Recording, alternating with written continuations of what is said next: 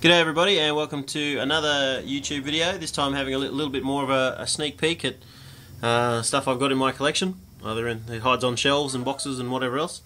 Uh, so here we have, some of you will recognise quite quickly, is Voltron, and it's the Lion Force version. I was really taken by the Lions.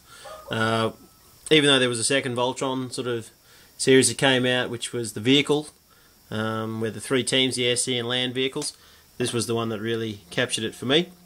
Uh, as you can see here, this is basically Voltron here. He was uh, a giant robot or a defender of the universe that uh, was able to form from the five lions you can see here in front of you. So we had the black lion, the red and green lion, the yellow line and the blue line. Now the yellow and the blue one, as you can see, uh, are larger lions than the, the blue and the red because when we look at Voltron uh, the blue and the red, uh, blue and the yellow, sorry, form the the legs. Green and red the arms, and the black one, which is the biggest, forms his body, or as in the TV show, his torso. Now Voltron had some weapons. Voltron had this blazing sword that you can see here. It's huge. Uh, he would form that, which would pretty much slice away the Robo Beast that he was fighting at the end of each episode, and slice them the bits. They'd blow up, and then all would be well for another day in the land of Voltron. And he also had this shield that he could hold up as well.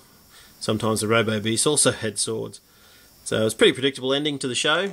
Uh, as you can see, the DVD cases behind spanned over five series, so uh, quite a few episodes of Voltron in there, uh, with Voltron fighting the the bad guys from Planet Doom. King Zarkon, I think, was his name and uh, he had this evil witch called uh, Haggar, I think, and she had a cat.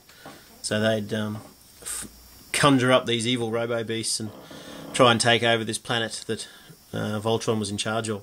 And the other thing was, all each character there was five characters or five main characters for the Voltron, and each character was in charge of its own lion.